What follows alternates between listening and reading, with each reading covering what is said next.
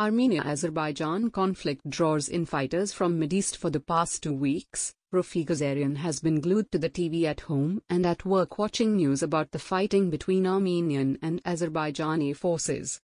If it goes on, the 50-year-old Lebanese of Armenian descent says he is ready to leave everything and volunteer to defend his ancestral land.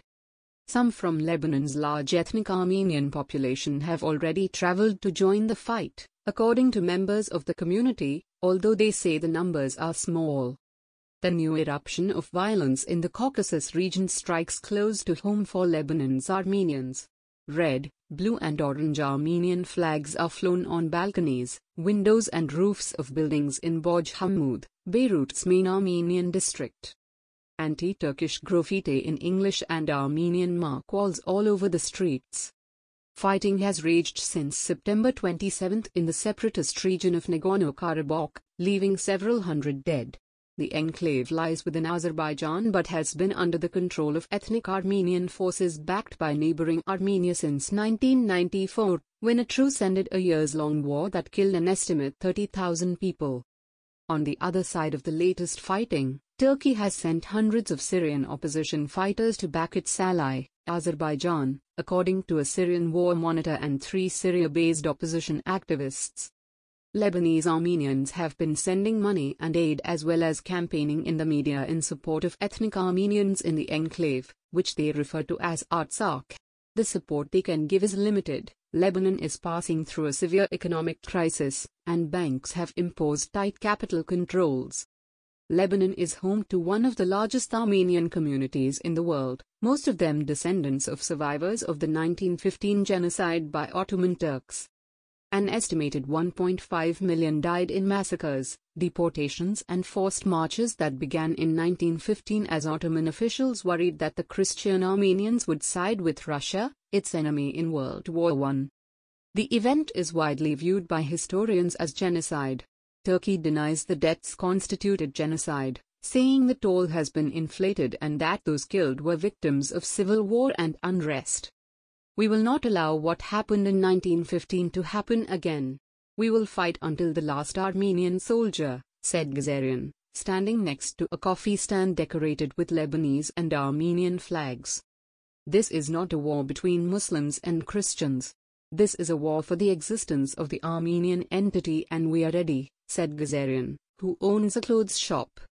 Lebanese legislator Hagop Pakradounian, who heads the Armenian Revolutionary Federation, the largest and most powerful Armenian party in Lebanon, said volunteers going from Lebanon to Armenia act on their own, and there is no decision by any organization or the community itself to send them.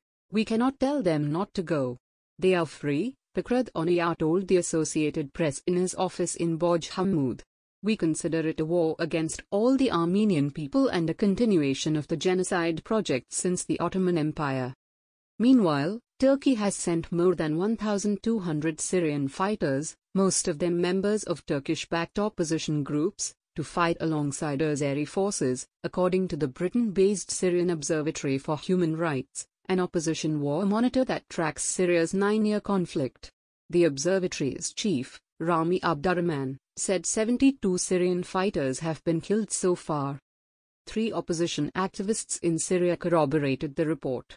They said Turkish security companies recruit their men ostensibly to work as guards at oil facilities in return for around 1,200 US dollars a month, but most end up on front lines. One of the activists sent AP photos of young men allegedly killed in Azerbaijan. A citizen journalist based in northern Syria said he knows some of the fighters who joined the battle, adding that warnings they sent about the intensity of the fighting and the dangers made others who were planning to go change their minds. The deployment is similar to what happened in Libya, where battle-hardened Syrian fighters helped tip the balance of power in favor of the UN-supported government of Prime Minister Fayez Sarraj, an ally of Turkey. Armenia has repeatedly said over the past week that Turkey sent Syrian fighters to back the Azeris, a claim that Ankara and Azerbaijan deny. Syrian President Bashar Assad told Russia's RIA Novosti news agency that Turkey is bringing terrorists from Syria and Libya to fight in Azerbaijan, accusing Turkish President Recep Tayyip Erdogan of being behind the escalation in Nagorno-Karabakh. French President Emmanuel Macron spoke with Russia's Vladimir Putin about the conflict last week.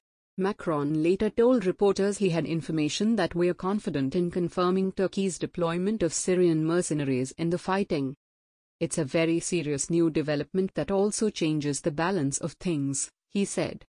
Russia's foreign ministry expressed concern over reports about militants from illegal armed groups from Syria and Libya being sent to the conflict zone.